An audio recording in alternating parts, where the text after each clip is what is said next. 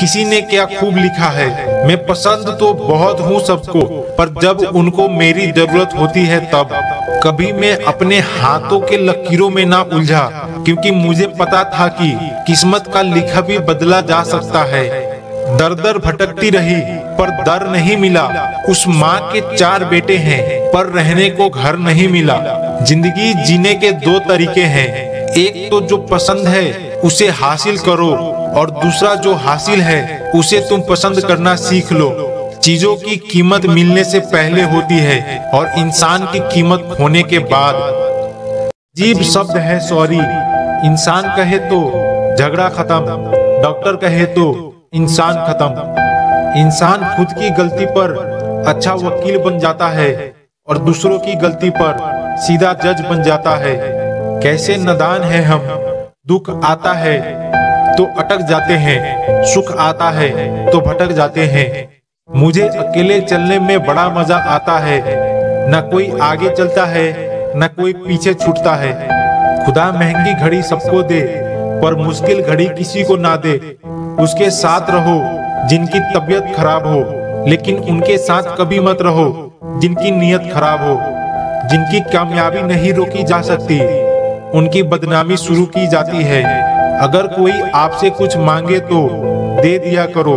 शुक्र करो, ऊपर वाले ने आपको देने वालों में रखा है, मांगने वालों में नहीं। इंसान की समझ सिर्फ़ इतनी है कि उसे जनावर कहो तो नाराज़ हो जाता है और शेर कहो तो खुश हो जाता है। हार से डर जाने से बेहतर है जीत की कोशिशों में मर जाना। बेजती का जवाब इतने इज़्ज़त के साथ दीजिए कि सामने वाला भी शर्मिंदा हो जाए। हमारी आँख अक्सर वही लोग खोलते हैं, जिन पर हम आँख बंद करके भरोसा करते हैं।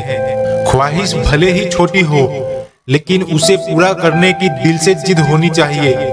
जो चीज़ आपको चैलेंज करती है, वही आपको चेंज कर सकती है। मेरे अपनों ने धक्का मारा मुझे डुबाने के लिए। फ़ायदा ये हुआ, साहेब, मैं तैरना सीख गया। हर रोता हुआ लम्हा मुस्कुराएगा। सब्र रख ए दोस्त, वक्त अपना भी आएगा। अपनी ज़िंदगी से कभी भी नाराज़ मत होना। क्या पता आप जैसी ज़िंदगी दूसरे लोगों का सपना हो। बहुत मज़बूत हो जाते हैं वो लोग जो अंदर से टूट जाते हैं। ज़िंदगी को इतनी सस्ती मत बनाओ कि दो कौड़ी के लोग खेल कर चले जाएँ। मैं जानता हूँ, मैं कुछ तो हूँ। क्योंकि वो कोई भी चीज़ बेकार नहीं बनाता। परखता रहा उम्र भर। ताकत दवाओं की। दंग रह गया देखकर। ताकत दुआओं की।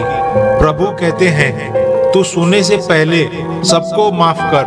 मैं उठने से पहले तुझे माफ़ कर दूँगा। अकेले रहना अच्छा है, बजाय उनके साथ रहने के, जिन्हें तुम्हारी कद्र नहीं। ज़िंदगी एक ऐसी किताब है जिसकी हज़ारों पन्ने अभी तक आपने नहीं पढ़े हैं। चाहे कसूर किसी का भी हो, लेकिन रिश्ते में आँसू हमेशा बेकसूर के ही बहते हैं। कोई भरोसा तोड़े तो उसका भी धन्यवाद करो। वो हमें सिखाते हैं कि भरोसा बहुत सोच समझकर करना चाहिए। तुम्हारे दिल की चुभन भी ज़रूर कम होगी। किसी के पाव के कांटे निकाल कर देखो। जिसके पास उम्मीद है, वो लाख बार हार के भी नहीं हारता। विजेता वो नहीं बनते जो कभी असफल नहीं हुए हैं, बल्कि वो बनते हैं जो कभी भी हार नहीं मानते। मुफ़्त में सिर्फ़ माँ बाप का प्यार मिलता है। इसके बाद दुनिया में हर रिश्ते के लिए कुछ ना कुछ चुकाना पड़ता है। गैर थे कौन, अपने थे कौन, हम ये समझ ना पाए। हमने देखा जिधर भी चेहरे बदले से नज़र आए।